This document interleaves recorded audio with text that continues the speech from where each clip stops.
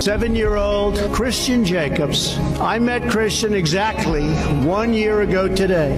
After the wreath laying ceremony, Christian walked over to me with great confidence, shook my hand, looked me straight in the eye, and asked if I would like to meet his dad, Marine Sergeant Christopher Jacobs, who died when Christian was just eight months old. And he led me to his dad's grave, and we paid our respects together. It was a moment I will.